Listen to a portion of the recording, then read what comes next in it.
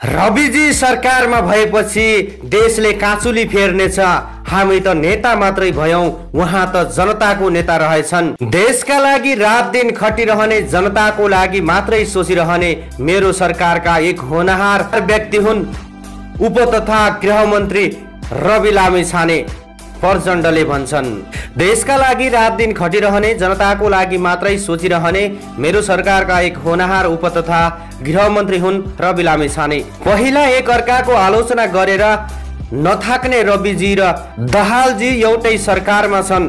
दहाल निकै ढुक्क भएको र मन्त्रीहरूमा बढी रविको भर भएको बताउँछन्।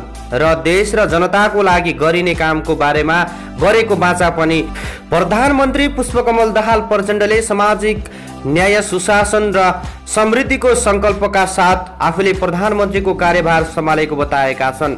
प्रतिनिधि सभामा आज विश्वासको मत माग्ने क्रममा लिखित सम्बोधन गर्दै उनले प्रधानमन्त्रीका रूपमा आफूले निषेध अपमान र प्रतिशोध होइन सहमति सहकार्य र आपसी विश्वासको राजनीति अघि बढाउन चाहेको स्पष्ट पारेका छन्।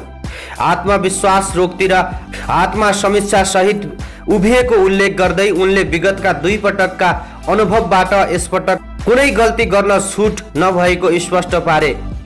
प्रधानमन्त्री दाहालले यसपटक सिङ्गो देश एक ठाउँमा उभिएर विश्वास नै एकताको सन्देश दिन चाहेको उल्लेख गर्यौँ। यो कार्यकालमा इमान्दार स्वीकारित्व सहित केही न केही गर्ने प्रतिबद्धता व्यक्त गरे। उनले पहुँच होइन विधिको शासन सुरु गर्ने र साठी खर्ब रुपियाँ बराबरको विकास खर्च जुटाउँदै राष्ट्रिय सहमतिका साथ शान्ति प्रक्रियाका केही बाँकी काम पुरा गर्न लागि पर्ने बताए। आफूले अगाडि बढाएको मध्य पहाडी लोकमार्ग उत्तर दक्षिणी करिडोर ऊर्जा क्षेत्रको विकासमा लेखेको भूमिकाले आज देश अगाडि बढेको जानकारी दिए।